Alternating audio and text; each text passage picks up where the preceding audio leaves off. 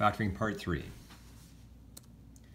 The last kind of factoring we'll look at is called the difference of squares. It's actually very straightforward. It comes down to finding uh, the difference in terms. We're looking for an expression that has a difference in terms and we know the square roots, so we know what the roots are. So for example, we have two terms here. We have x squared take away 25. It's a difference because it's take away, that's important. If this was x squared plus 25, that wouldn't work.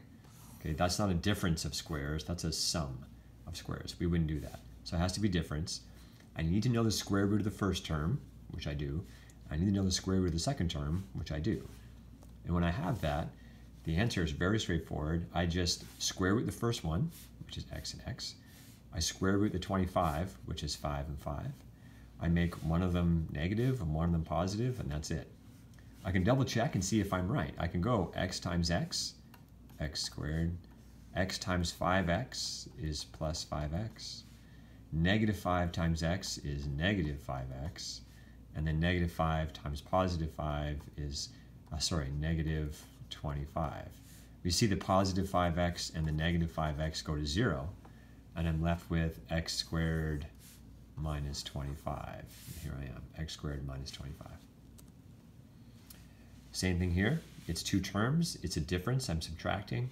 I know the square root of 4. I know the square root of 36. I know the square root of x squared and the square root of y squared. So I just go right to my brackets. Square root of 4 is 2. So they're the 2's. Square root of 36 is 6 and 6. And then I've just put the square root of x squared, which is the x's, square root of the y squareds, which is the y's. Make one negative, make one positive. Doesn't matter which one. You can have the positive one first if you wanted, the negative one second. Doesn't make a difference. Uh, just simply put, yeah, if I have x squared minus y squared, again, it's going to be x minus y and then x plus y. And again, we could FOIL it out if we wanted. x times x is x squared x times y is plus xy. Negative y times x is negative xy. Negative y times positive y is negative y squared. The plus xy and negative xy go to 0, and I'm left with x squared minus y squared, which is that. Now what I want to look at here for a second is the, uh, the great factoring plan. I know there's lots of things you've been looking at factoring wise, and we need a bit of a plan to say, okay, what do we do when? Okay, so I think the first thing off the bat, what we always want to do first is common factor. We take a look at our expression and we say, is there a number that's common to everything, or is there a variable that I can pull out somewhere that's sitting in all the terms? So we always common factor first. That's going to make our life easier. Beyond that, we really have a couple options. We either have a polynomial that has two terms, to binomial. We have a polynomial that has three terms, to trinomial. Or we have a polynomial that's three or more, which is really going to be four, you know, maybe, maybe five, but that's it. We're never going to give you like 17 terms and say factor it. It's really, it's really going to be three, maybe four. That'll be the last one.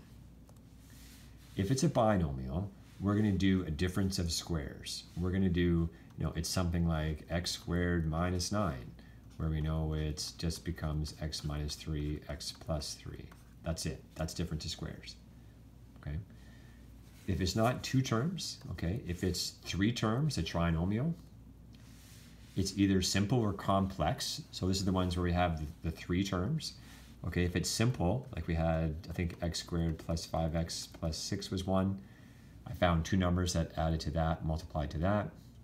If it was complex, we had a number out front.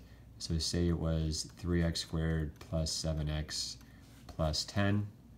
I would find two numbers that add to 7 and multiply to 3 times 10, which is 30. If, if we're 3 or 4, really, we did the idea of grouping. So we had, say we had a plus b plus c plus d. We try to group up the first two, and then common factor, and we try to group up the second two, and common factor. Now, sometimes, again, the point is I do want you to common factor first. And this is one of those tricky questions. Sometimes they throw a negative 1 out here, and we don't recognize it, but we do have to actually common factor that negative 1 out. So, because really a negative 1, like a 1 can be factored out of everything, and so can a negative 1. So I'm just going to pull a negative 1 and write it out front. And really what that does is it just flips the signs of all the terms. So if I were to put this back in, right, negative 1 times x, that's negative 1x squared, sorry. Uh, negative 1 times negative 2, there's my positive 2. And negative 1 times negative 15 is positive 15. Now once the negative is out and this, this first term here, this x squared, is positive, and then I can go back into my, okay, put my brackets down, it's a simple trinomial, try to find two numbers that add to negative 2 and multiply to negative 15. There's my number, and there's my number there. Okay, that's it for today.